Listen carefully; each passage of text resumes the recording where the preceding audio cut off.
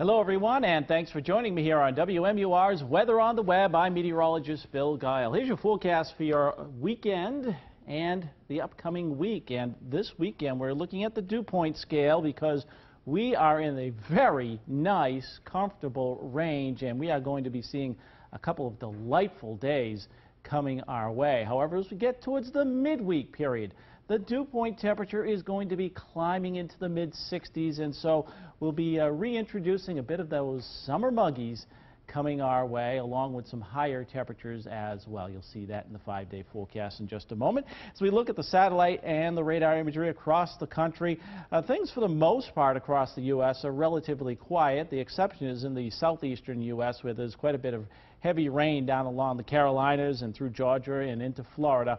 Most of that activity is all going to stay to our south, running along a stationary frontal boundary off the mid-Atlantic coastline. It will send some high clouds in our direction for tomorrow, but overall, it's a nice, dry, comfortable weekend for us with high pressure building in from the eastern Great Lakes. And if you're doing any boating today or going to be heading to the beaches, here are the conditions you can expect. The uh, high tide at the uh, shoreline today is this morning, 810. The low tide will be occurring just about 2.30 this afternoon. The light northerly and northeasterly breezes will turn southeast at the coastline at about 10 knots, so very light winds for today. Seas running about 1 to 3 feet. Now, the sun index is quite strong. UV index is a 9, so you make sure you apply that sunscreen often. Dipping into the ocean water, that temperature is about 62 degrees right now. Lake Winnipesaukee, folks hanging around uh, the area around Meredith or anywhere around the uh, shores around Weirs Beach perhaps. Water temperature there about 72 degrees. So here's what's happening in our forecast. This high pressure cell just drifts towards us for the afternoon. Highs in the north country 74 to 79 degrees. Hardly a cloud around. Southern New Hampshire, a few scattered puffy white clouds around. Temperature is close to 80 degrees, but again, as that wind turns on shore at the coastline, mid 70s is what you'll find. Then overnight tonight, that high pressure cell continues to drift right across New Hampshire, meaning lots of clear skies and uh, cool spots off to the north country and into the valleys. Overnight lows will be dipping back into the mid 40s.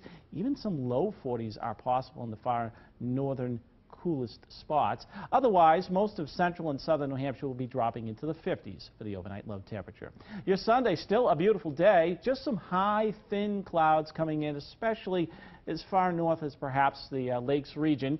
Temperatures 77 to 83 degrees. It'll be a great day across the area. And then for Monday, it gets a little bit warmer, 80 to 86, perhaps even just a touch of the mugginess becoming noticeable. So the recap for today, it looks like a beauty all across the region, north to south. High temperatures again, North Country mid 70s, closer to 80 in central areas and through the upper valley and southern New Hampshire will be in the low 80s. And then for tomorrow, we'll add a couple of degrees onto what we get for today. Monday, add another couple of degrees, heading into the mid-80s many locations.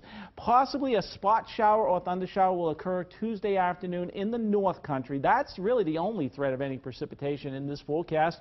Wednesday, ooh, approaching 90 as it becomes more summer-like and with a little bit of humidity. And that's your latest forecast. Have a great weekend, everyone.